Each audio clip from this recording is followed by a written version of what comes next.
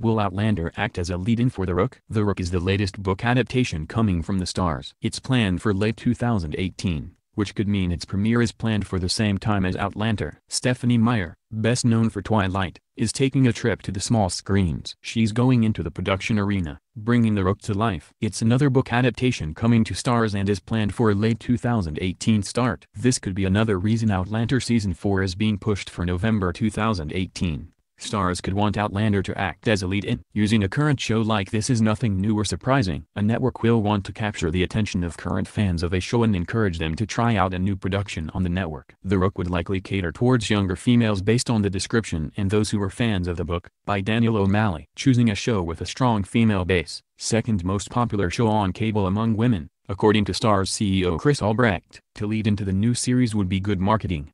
This wouldn't be the first time Outlander is used like this. Before the start of the third season finale, Starz aired a promo for Counterpart. This went on to take over the Outlander time slot the week after. It didn't quite have the success that Outlander did, but then Starz doesn't just rely on live viewings. The app is where it's at. A big question is whether The Rook is a show that works following Outlander. It does have a supernatural element and it is a book adaptation, but is that all? The story follows Myfanwy Thomas, who wakes up with amnesia and is surrounded by dead bodies. It's another British story, as Myfanwy needs to resume her position with the British Secret Service, the Checquy, before whoever it was who stole her memory can finish off their terrorist acts. Think of it as a little like the Bourne series. There's no set date yet and not even a month, but late 2018 certainly seems like it would suggest it and Outlander will be on the same night. A big question is whether The Rook is a show that works following Outlander. It does have a supernatural element and it is a book adaptation, but is that all? The story follows Myfanwy Thomas, who wakes up with amnesia and is surrounded by dead bodies. It's another British story,